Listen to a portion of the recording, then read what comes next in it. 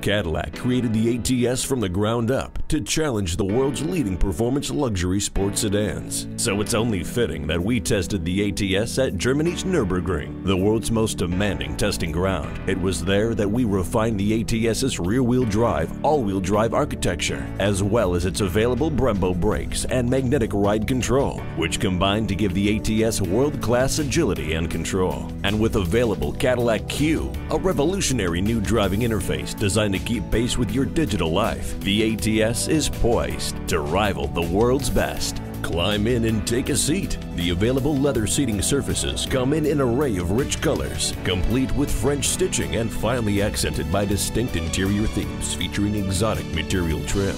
And to make sure you can handle hairpin turns and stop on a dime, there's available race-inspired Brembo front brakes. The 2014 Cadillac ATS, built to be the world's best.